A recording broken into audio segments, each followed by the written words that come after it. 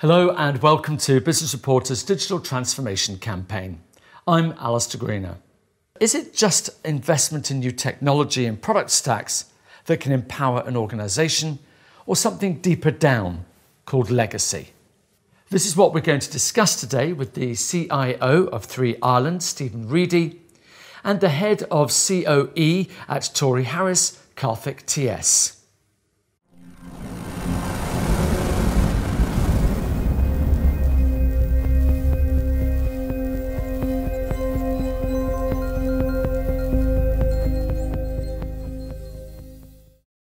Good morning. Hello. Good morning. Not long ago, your organisation merged with Telefonica. Give us an idea of some of the biggest tech challenges that you encountered.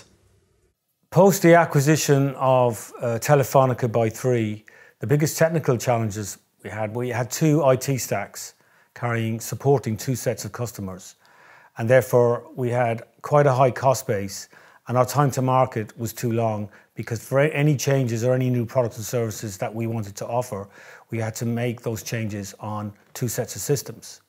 So we embarked on a transformation through which we needed to consolidate from two, two IT stacks to one in order to reduce our cost base, uh, to radically uh, decrease our time to market, but most importantly, to deliver a compelling digital omni-channel customer experience to our customers.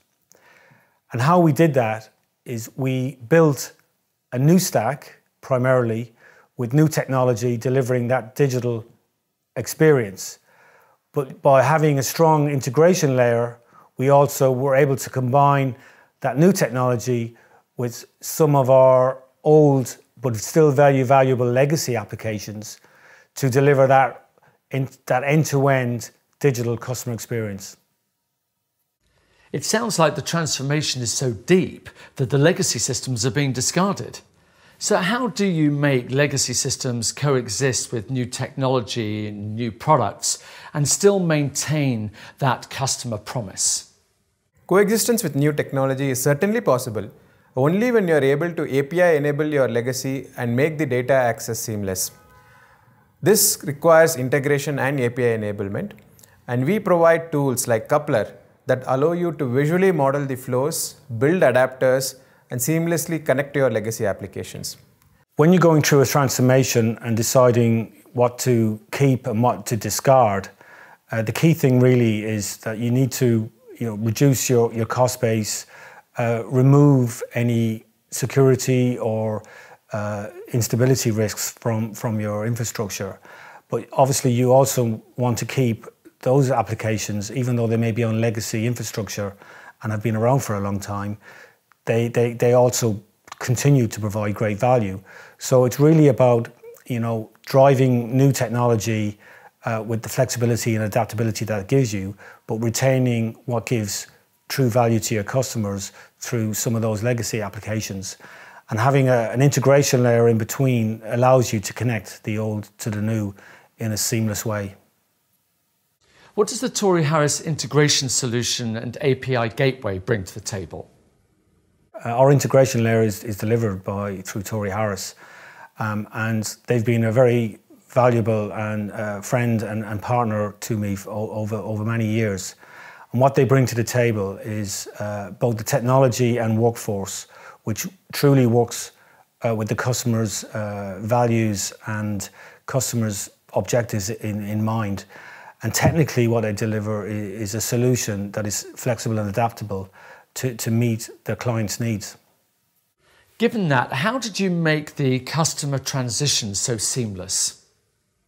We delivered a seamless customer transition by having a really sharp migration strategy from the old stacks into the new stack. And we made sure that we identified the key information that needed to be migrated in order to make sure that when our customers were migrated from the old stack to the new, that they essentially didn't really lose, we didn't lose any customer data.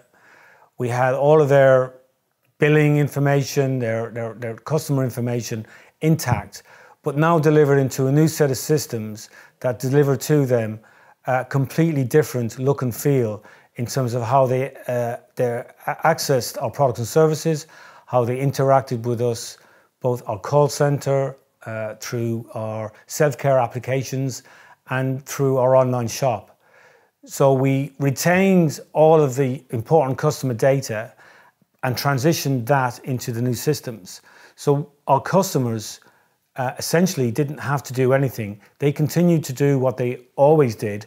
However, post post the transformation, post the migration, they, you know, obviously saw that they uh, had a new experience, but without having to take any proactive action themselves, but also making sure that you know they, they had all of the information that they had on the old systems were there for them in the new. So essentially, without, without losing any customer information, we were able to, to move them from the old to the new.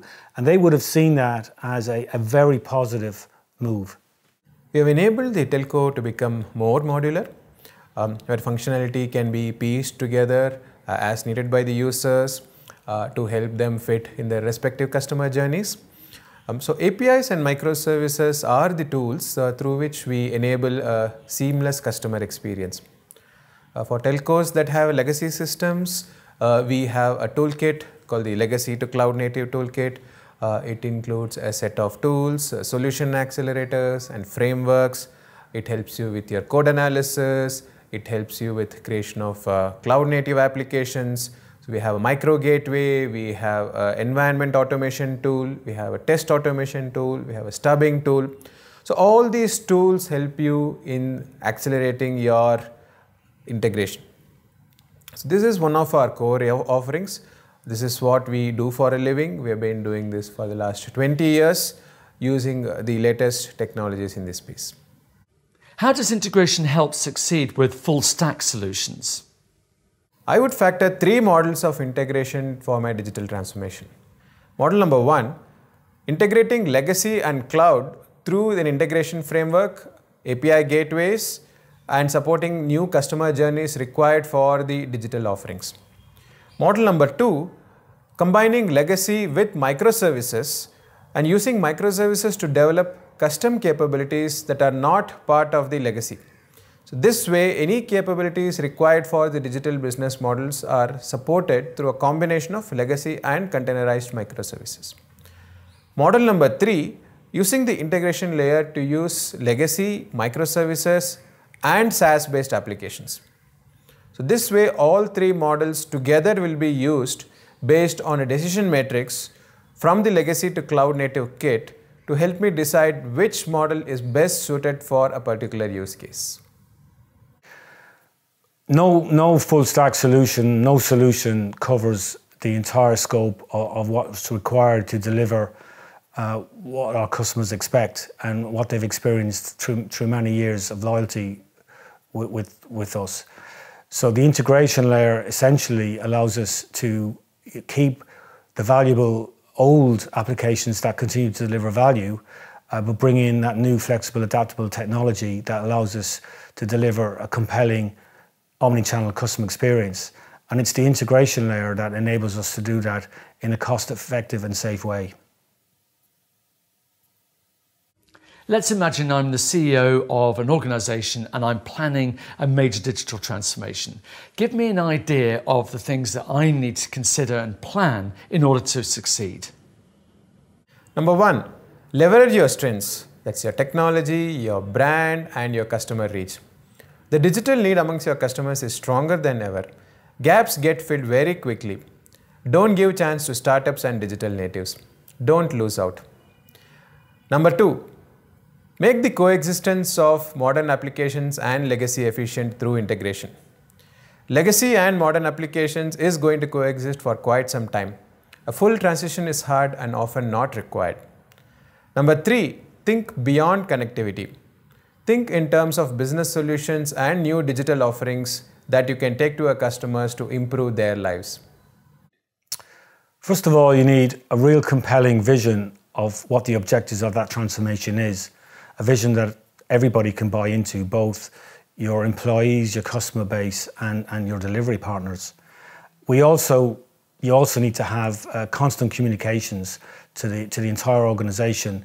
Keep re-emphasizing why it's important for you as a business to, to continue on, on this transformational journey, the benefits that it's going to give your, your customers, your employees, and, and your shareholders. So that, that's a constant theme to, to keep on driving. Another key activity is really is, is picking the right delivery partners, uh, making sure that those delivery partners a buy into the, into the vision, but also work collaboratively with each other and with you as a business and with your IT department. That's very key. And the final, the final key ingredient is, of course, to have a CIO, brilliant CIO that delivers it for you.